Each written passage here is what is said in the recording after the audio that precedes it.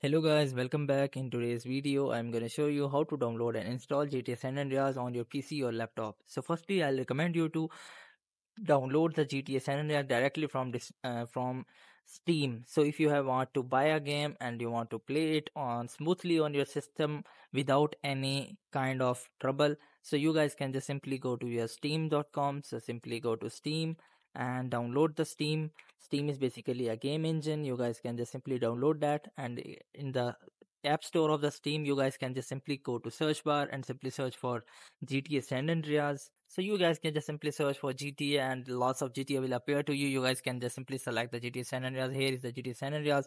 You have to just simply click on it and simply buy the game according to your needs. So you guys can see here you have to just simply go to uh, this uh, and enter your date of birth so after entering your date of birth, you have to just simply go to just wait for a while. Then you have to simply go to view page. So after going go to view page, now you have to just simply go back and here you have to simply click on add to cart.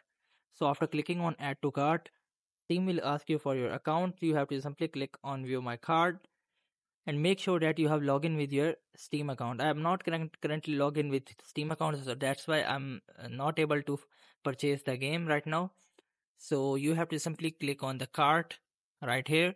So after clicking on cart now you have to just simply go to for my account and simply click on sign in to purchase.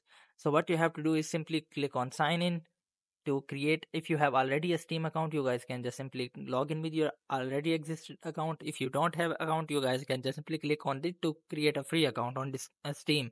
So after successfully uh, entering your details you guys have to just simply click on continue and your payment screen will be appear to you. So you guys have to simply select the visa card paypal or any other payment option which you like to use. So you have to simply enter your credentials and your gta san andreas will be downloaded to your pc or laptop and you guys can easily watch the game and enjoy. So i hope this methods find you well. Do like share subscribe. Thank you so much. Bye bye